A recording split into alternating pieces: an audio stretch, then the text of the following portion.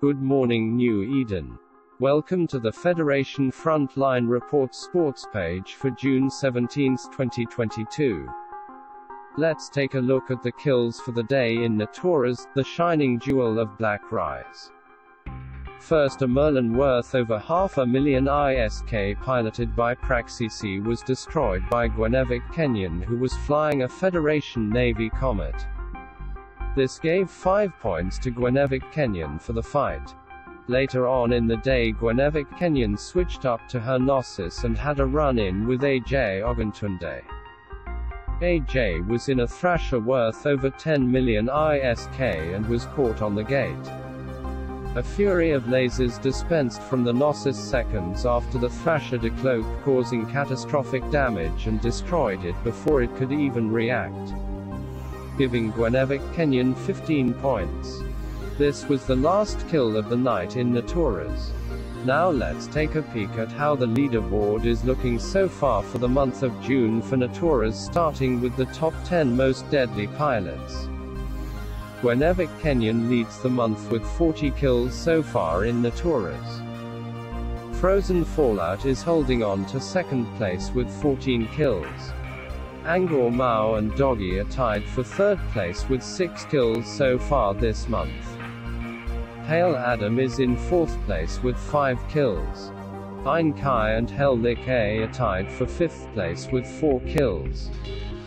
Nessa Walsh, Cash Empire, and Nuori Kira Inkunen are all tied for sixth place. Now for the top 10 most deadly corporations.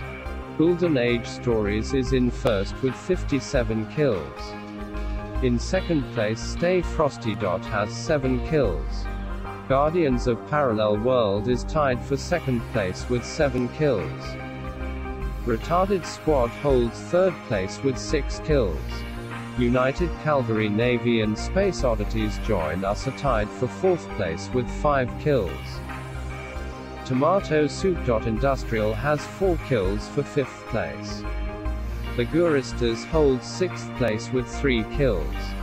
New Eden Jihad, Quantum Cats Syndicate and Corn Soup. Industrial are tied for 7th place with 2 kills. The top 8 alliance for Notoras are as follows. Federation Frontline in first place with 57 kills. Nisuwa Cartel coming in second place with 16 kills. A band apart.